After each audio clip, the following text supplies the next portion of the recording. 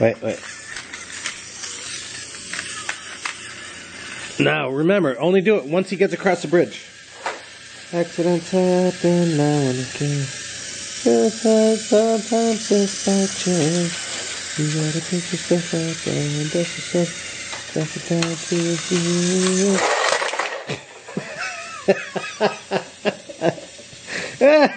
you.